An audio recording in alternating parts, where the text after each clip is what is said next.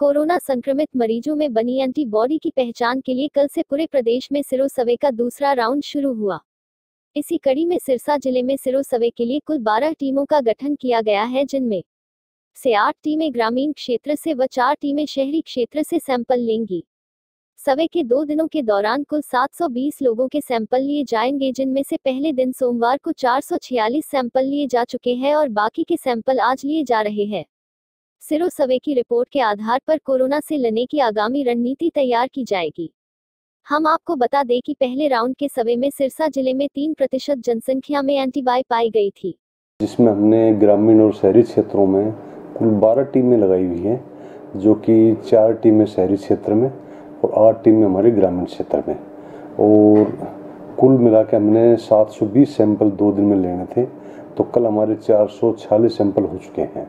और आज भी हमारा ये सैम्पलिंग जारी है। आगे इनके दो दिन के जो रिज़ल्ट हैं, वो जो भी आएँगे तो ये पीजीएमएस चंडीगढ़, उनके सुपरविजन हो रहा है मार्गदर्शन में। तो वहाँ सारे डाटा वहाँ रिपोर्टें भेजी जाएँगी।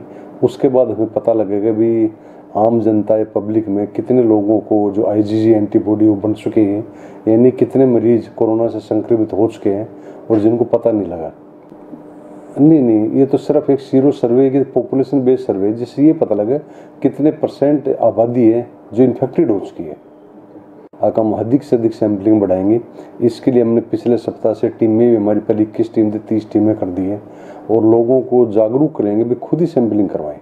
उन लोगों से मेरी अपील है, क्योंकि त्यौहार का सीज़न है, उसके बाद अधिक से अधिक लोग जैसे शहरों में भी, बाज़ार में, मंडियों में जा रहे हैं तो मेरी अपील है भी दो गज़ की दूरी एक पब्लिक प्लेस पे मास्क ज़रूर पहने और दूसरा साबुन से बार बार हाथ धोते रहें, ताकि इसके संक्रमण से बचा जा सके और इसके मतलब ज़्यादा फैलाव को रोका जा सके। ठीक होने की दर हमारी करीब महीना पहले चौहत्तर परसेंट थी, जो कि बढ़ के नब्बे परसेंट हो गई इसमें सिरो सर्वे में एंटीबॉडी टेस्टिंग की जाती है, ठीक है, जिससे पता लगता है कि कितना ये कोरोना फैल चुका है। एंटीबॉडी वो होती है कि लड़ने की क्षमता कितनी है अपने शरीर में, कोरोना के खिलाफ।